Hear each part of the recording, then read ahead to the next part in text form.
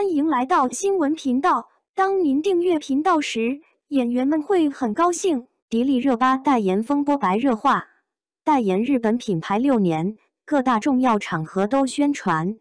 从小我们就被教育要爱护家园、爱护环境，很多小朋友都知道地球是我们共同的家园。可是如此浅显的道理，日本却不懂，或者说故意视若罔闻。二十四日，日本质疑将福岛核废水排入海中，让全人类为他的错误买单，也彻底暴露了他丑恶的嘴脸，成为历史的罪人。一个国家有小节却无大义，出现了问题不去解决，反而想着掩盖，实则拉着全人类垫背，实在令人恶心。日本执意将核污水排海后，群民激愤，纷纷抵制。但网友发现，明星中的发声者却寥寥无几。有网友表示，此前喜欢为各种热点事件发声的明星，这次大部分都是集体沉默的状态。随后有网友猜测，是因为他们有各种代言，舍不得那笔钱。而这些明星中，自然就包括了迪丽热巴。二零二三年。迪丽热巴携新剧《安乐传》和观众见面，可惜这部大 IP 不止未能大爆，更是没能掀出一点水花。和同为九十花的杨紫带来的《长相思》，想必显然是扑得一塌糊涂。迪丽热巴虽然新剧播出效果不理想，而凭借不俗的外形，商务资源依然十分优越。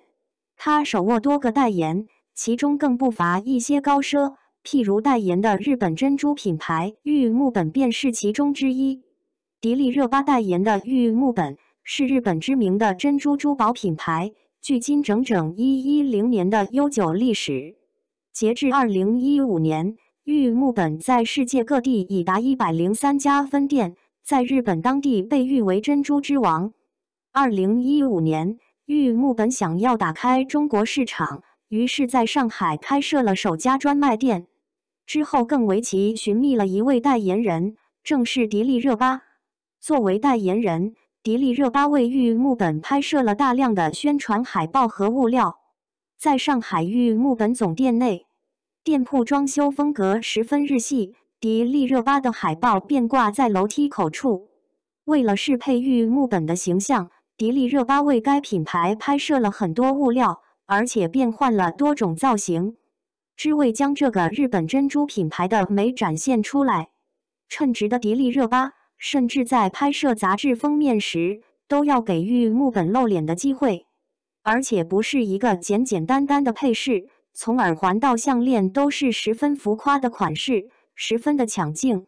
这还没完，就连迪丽热巴日常的写真，还有一些活动现场，也同样佩戴着玉木本珍珠。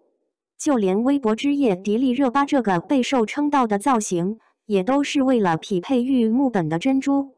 不难看出，迪丽热巴对玉木本的宣传可谓无孔不入，几乎到达了极致。在迪丽热巴不遗余力的宣传下，玉木本逐渐在国内站住脚，粉丝也对该品牌赞不绝口，称玉木本就是好看。不过，在纷纷喊话抵制日货的当下，不少粉丝还是秉承国家面前无偶像的态度，喊话迪丽热巴工作室赶紧和玉木本解约。甚至在更早之前，便有人质疑迪丽热巴说一套做一套，嘴上说着爱国，实际上却和日本品牌合作了六年之久。此外，迪丽热巴还有很多剧也在日本播出，如《六扇门》《恰似故人归》等。迪丽热巴本人在日本也很受追捧。对于网友和粉丝的质疑，迪丽热巴却依旧沉默。二十五日，他又忙着宣传自己的其他代言，很是忙碌。对此，有网友表示，抵制日货不是一个人的事情，作为明星顶流，更应该做好表率。但大家也要给迪丽热巴一点时间，毕竟解约也需要走流程。